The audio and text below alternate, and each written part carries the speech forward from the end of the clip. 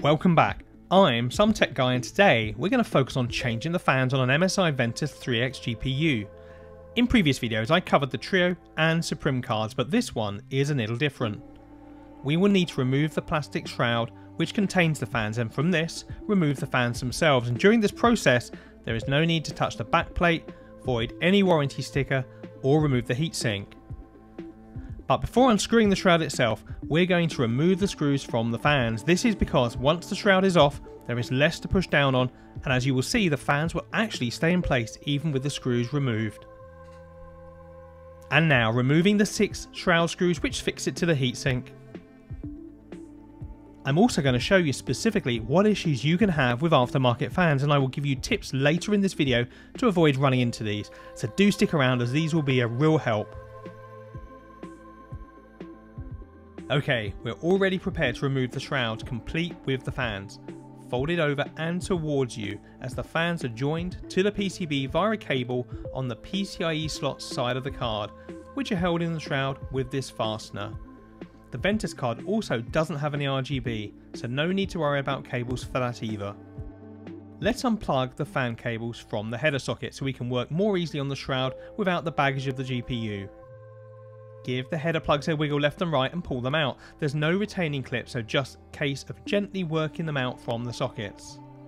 The fan cable is tucked under the heatsink. It will make your life a little easier to move that out as well. Okay, now we can separate the card and move it out of the way. You can see that despite removing the screws, the fans do stay in place.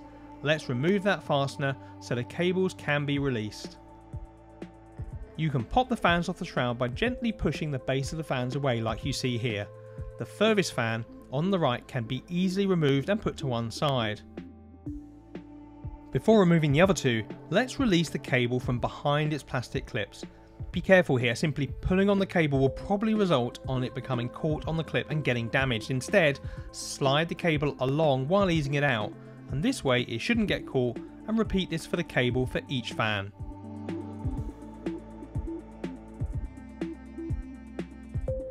You will notice that once you pop the remaining fans off that these two fan cables are actually connected and as a result you cannot easily remove the fans.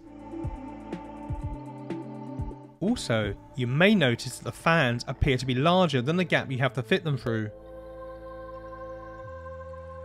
Now, this part is the main trick to changing the fans as it is tempting just to manhandle the fans through the gaps, but actually rotate the fans so the cable is pointing up and then push the left side of the fan against the shroud. Now gently ease the other side in the direction of the fan blades through like you can see here. Doing this, it's actually really easy to get the fans out without damaging them.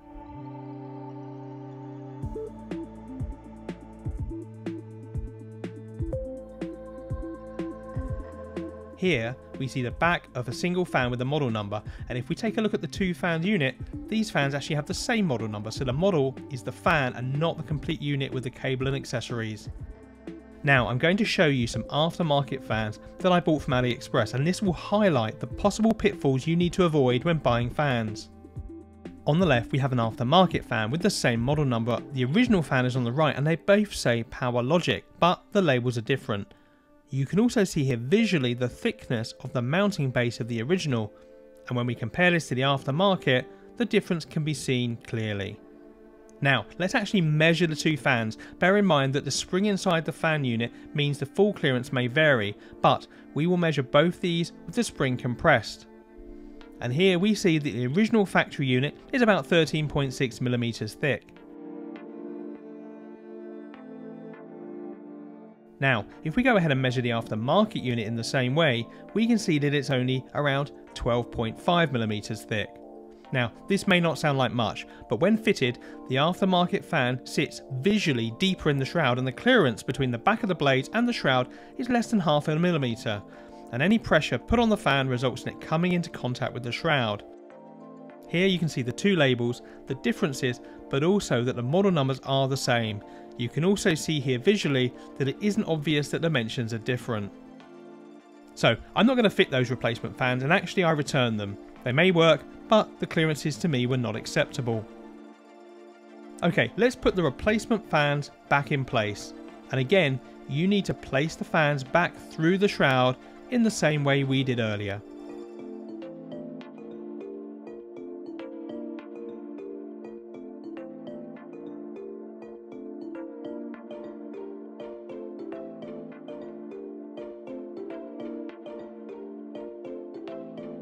Again, route the cables back behind the clips carefully and gently so that they don't get damaged.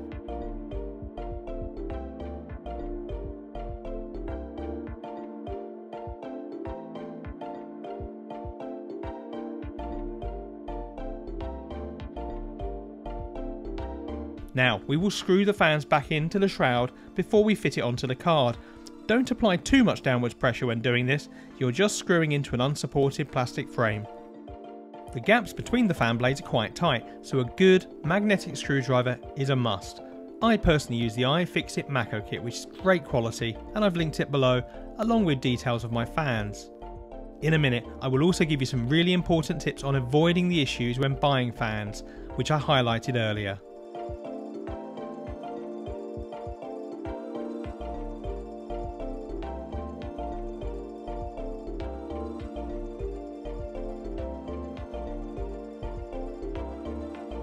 Now, we will finish routing the cables and fitting back the cable fastener. Make sure the cables are snugly fitted and won't come loose.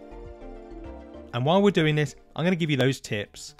Tip 1. Use the model number from your unit to search for replacement options. You saw mine in the video and I will post it down in the comments below so you can find it easily.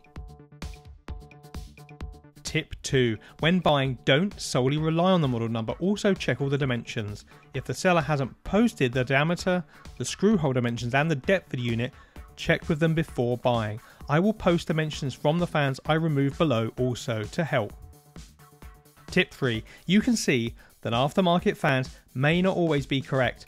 They may be QA fails or even counterfeit units, so pay attention to the pictures and quality and compare. If you don't get what you expect, check that you are able to return for a full refund without excessive return postal fees. eBay provides buyer protection if you buy there. Okay, the shroud work is now complete and we can place it back onto the heatsink. Make sure the cables are the correct way round when you do this, with the white plug on the left and the black plug on the right.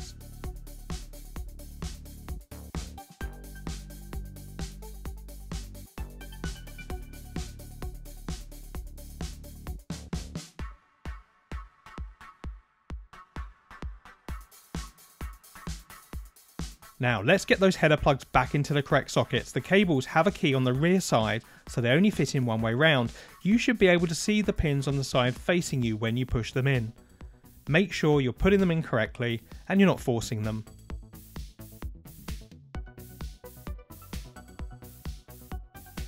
And now it's time to screw the shroud in. Make sure the holes are lined up before you start. The shroud fits nicely so once the screws are aligned it should feel seated.